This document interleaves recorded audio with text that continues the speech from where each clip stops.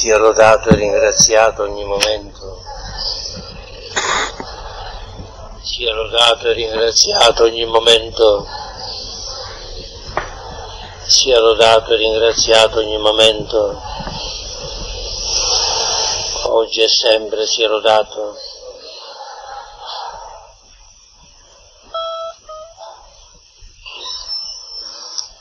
Ti adoriamo questa sera qui, riuniti come ogni lunedì.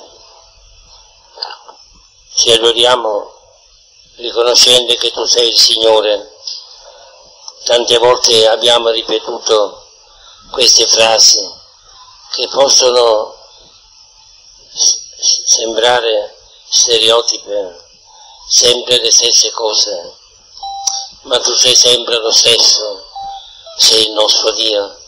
E non sappiamo come dire la stessa cosa.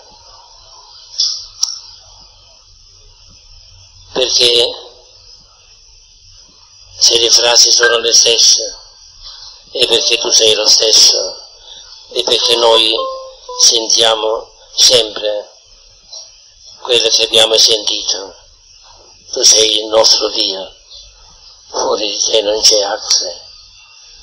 E ci possiamo davanti a te, che ti sei umiliato fino alla morte, ti sei abbassato a noi per stare con noi, per guidarci, per farci sentire ancora la tua parola, per farci sentire vicini a te.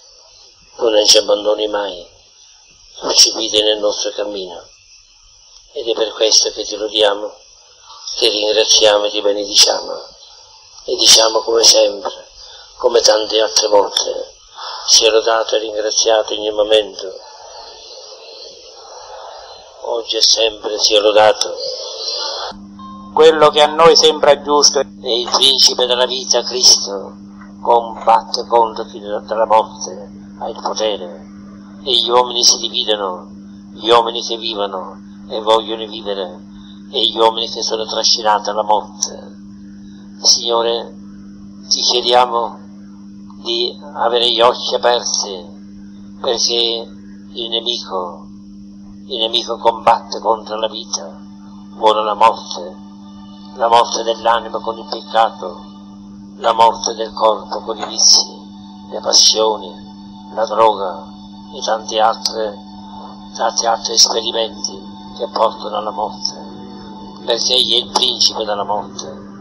Ma noi siamo i viventi, oh Signore, perché noi viviamo, Signore, ogni guarigione annuncio di resurrezione, oh. annuncio di vita, oh Dio della vita, noi vogliamo stare accanto a Te, vogliamo vivere perché Tu sei morto e adesso sei vivo e Tu non morrai più e Tu sei chiamato tutti alla vita. Lode e gloria a Te, Signore.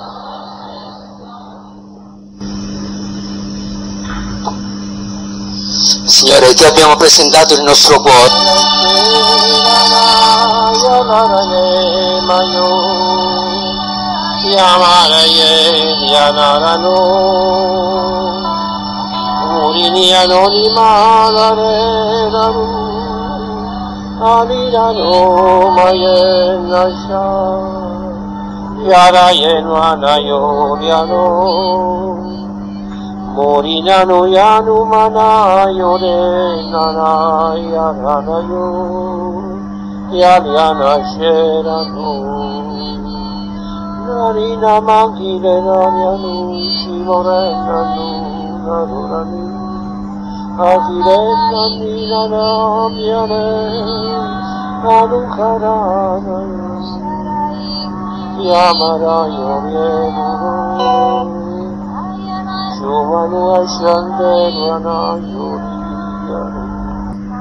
Continuiamo la nostra lode in chiave personale. Chiediamo al Signore di convertirci veramente, perché non basta aver ascoltato il canto, non basta dire come sono dolci le parole, come suave il canto, ma è la condotta, la condotta che deve corrispondere alla parola che il Signore ci dà, ossia la parola di Dio, deve diventare vita in noi e quando il Signore ci dice convertitevi, deve seguire a questa parola una vera conversione del cuore. Quando il Signore ci dice vivete, bisogna abbandonare la morte e vivere. Quando il Signore ci dice credete, sperate, dobbiamo credere e sperare nel Signore, cioè la parola di Dio deve corrispondere, cioè deve produrre il suo effetto dentro di noi. Alleluia. E allora continuiamo la nostra lode, se c'è qualcuno che dà da ringraziare il Signore per qualche beneficio ricevuto, lo faccia così con lealtà. Fare una testimonianza per una mia amica che ha 42 anni. Io avevo detto che era sterile, finalmente ha avuto un bimbo il giorno 16 gli è nato, è tutto a posto, infatti non ha fatto neppure degli esami perché io lo sapevo già che insomma il Signore gliel'avrebbe dato sano. E di questo ti voglio ringraziare e verrà anche lei stessa appena sta un po' meglio qui a testimoniare. Un'altra testimonianza è che un bambino di 4 anni a Bologna l'altro giorno ha avuto un incidente ed era entrato in coma, adesso sta bene, gli hanno fatto l'attacco, non ha niente, si è risvegliato e ti ringrazio Signore Gesù. Signore, eppure il Signore ha operato in quest'ultima settimana. Se voi non ringraziate il Signore, non testimoniate, è inutile che noi diamo annunci di guarigione.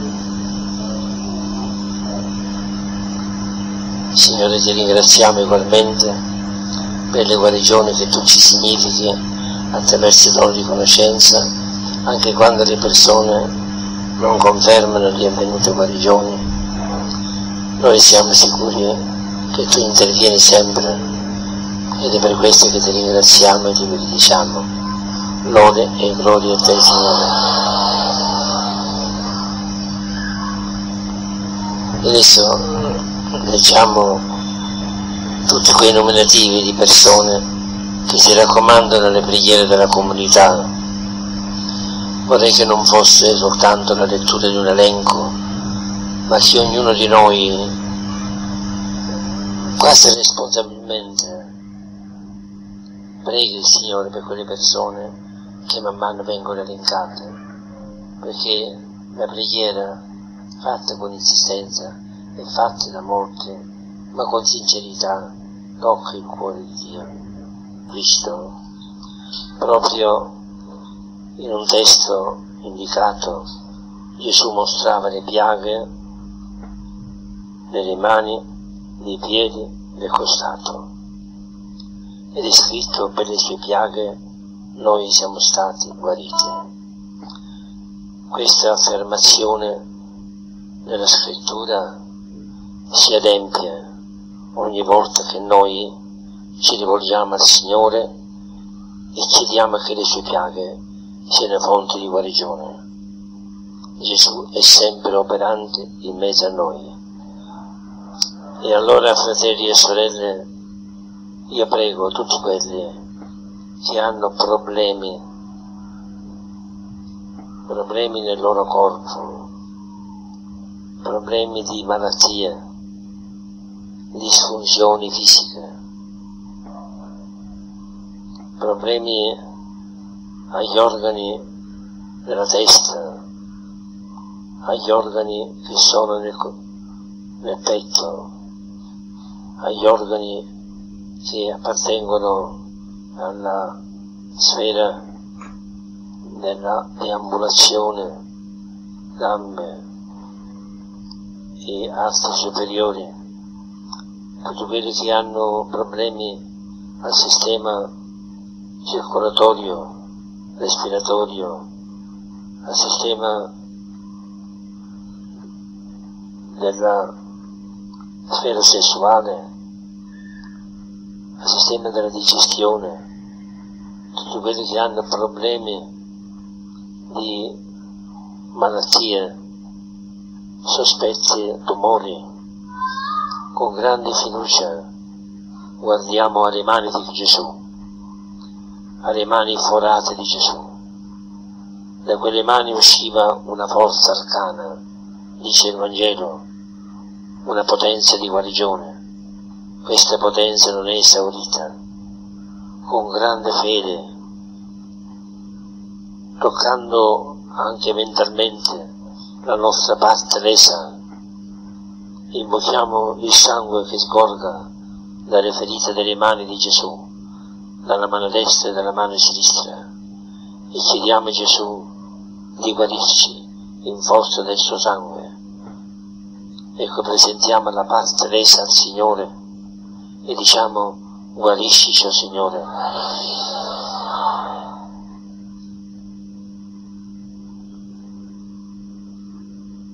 E adesso guardiamo alle piaghe dei piedi. Gesù ha camminato per tre anni, liberando e risanando tutti quelli che erano afflitti da spiriti maligni.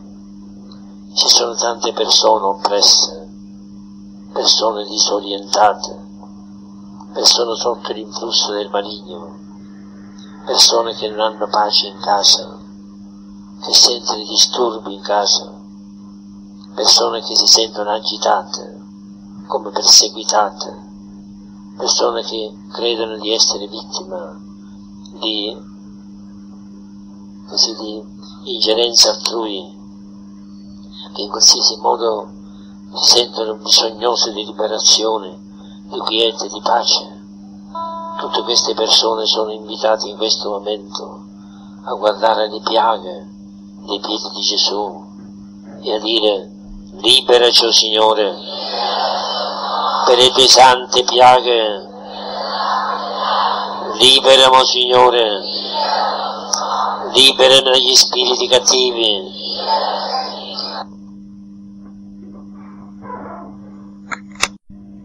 Russi maligni ed ogni altro male che mi rende inquieto,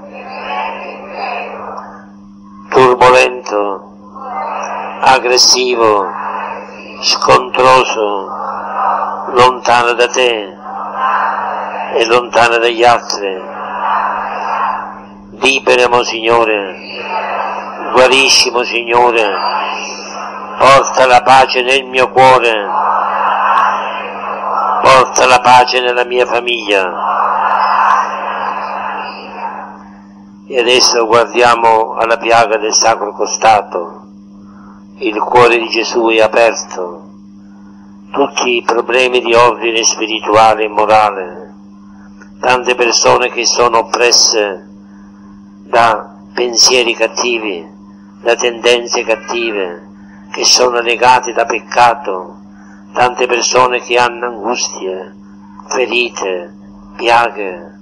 Tante persone che sono nell'angustia forte, vede tutte queste persone che hanno il cuore ferito, il cuore spezzato, il cuore angosciato, tutte queste persone che hanno i problemi di ordine morale o di ordine spirituale, queste persone che si sentono fredde, prive di speranza, incapaci di amare, persone che non trovano pace in famiglia perché non c'è amore, tutte queste persone sono invitate a guardare il cuore di Cristo e a domandare che la grazia di Gesù, il sangue di Gesù, scenda nelle famiglie, scenda a restaurare la pace, scenda a dare aiuto, consolazione, scenda a ridare la vita, a rompere le catene del peccato e a ridare la salute dello spirito.